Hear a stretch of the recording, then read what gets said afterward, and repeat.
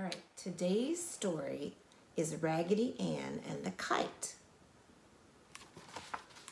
Raggedy Ann watched the preparations with interest. A number of sticks were being fastened together with strings and covered with light cloth. Raggedy Ann heard some of the boys talk of the kite, so Raggedy Ann knew this must be a kite. When a tail had been fastened to the kite and a large ball of heavy twine tied to the front, one of the boys held the kite up in the air and another boy walked off unwinding the ball of twine. There was a nice breeze blowing, so the boy with the twine called, Let her go, and started running. Marcella held Raggedy up so that she could watch the kite sail through the air. How nicely it climbed. But suddenly, the kite acted strangely, and as all the children shouted advice to the boy with the ball of twine, the kite began darting this way and that, and finally making four or five loop-the-loops, it crashed to the ground.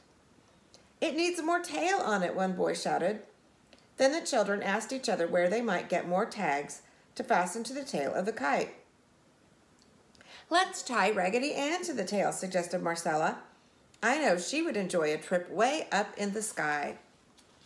The boys all shouted with delight at this new suggestion, so Raggedy Ann was tied to the tail of the kite. This time the kite rose straight in the air and remained steady.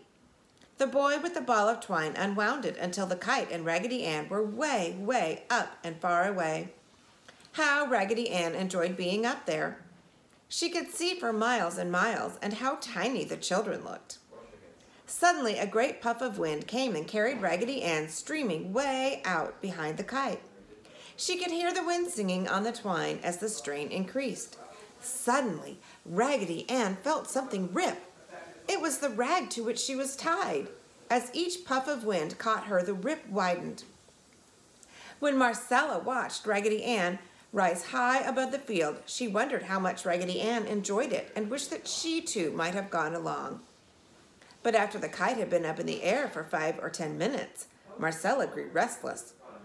Kites were rather tiresome. There was more fun in tea parties out under the apple tree.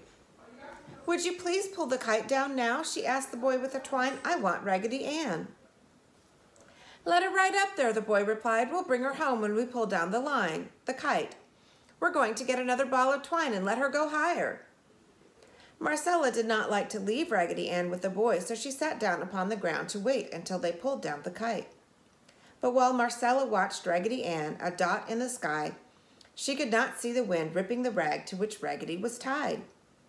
Suddenly, the rag parted and Raggedy Ann went sailing away as the wind caught in her skirts. Marcella jumped from the ground, too surprised to say anything. The kite, released from the weight of Raggedy Ann, began darting and swooping to the ground.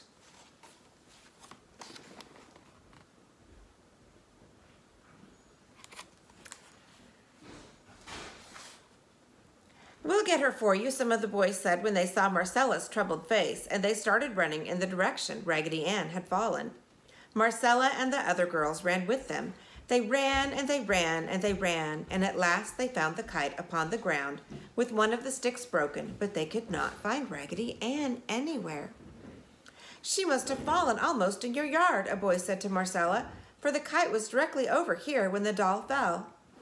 Marcella was heartbroken. She went in the house and lay on the bed. Mama went out with the children and tried to find Raggedy Ann, but Raggedy Ann was nowhere to be found, to be seen.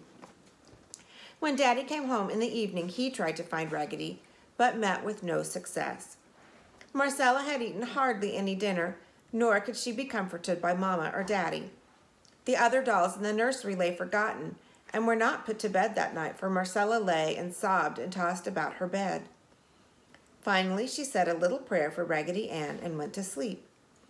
And as she slept, Marcella dreamed that the fairies came and took Raggedy Ann with them to Fairyland for a visit, and then sent Raggedy Ann home to her. She awakened with a cry.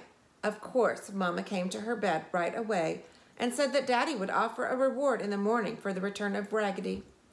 It was all my fault, Mamma, Marcella said. I should not have offered the boys dear old Raggedy Ann to tie on the tail of the kite, but I just knew the fairies will send her back. Mamma took her in her arms and soothed her with cheering words, although she felt indeed that Raggedy Ann was truly lost and would never be found again. Now, where do you suppose Raggedy Ann was all this time?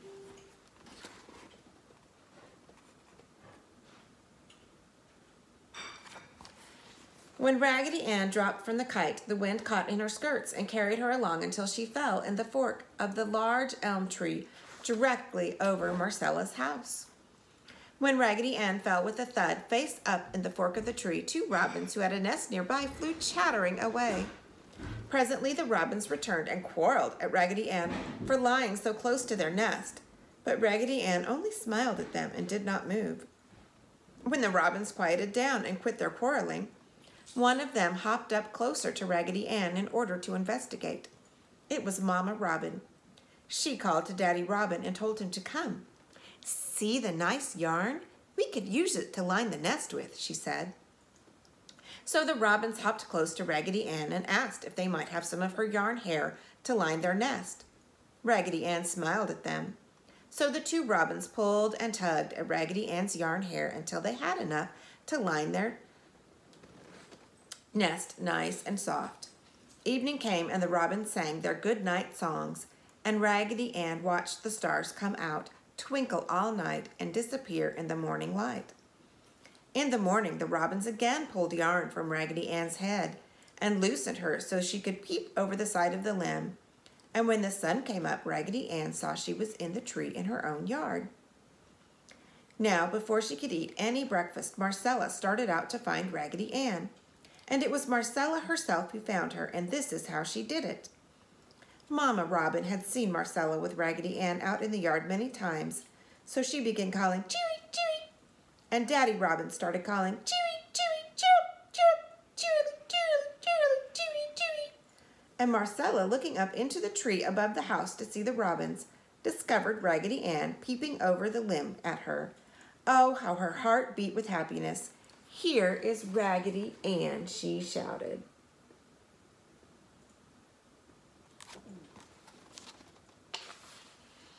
And Mama and Daddy came out and saw Raggedy smiling at them. And Daddy got a wooden pole and climbed out the attic window and poked Raggedy Ann out of the tree, and she fell right into Marcella's arms, where she was hugged in a tight embrace. You'll never go up on a kite again, Raggedy Ann, said Marcella, for I felt so lost without you, I will never let you leave me again. So Raggedy Ann went into the house and had breakfast with her little mistress, and Mamma and Daddy smiled at each other when they peeped through the door into the breakfast room, for Raggedy Ann's smile was wide and very yellow. Marcella, her heart full of happiness, was feeding Raggedy Ann part of her egg.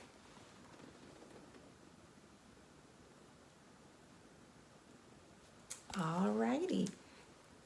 You guys take care. And next time it's Raggedy Ann Rescues Fido.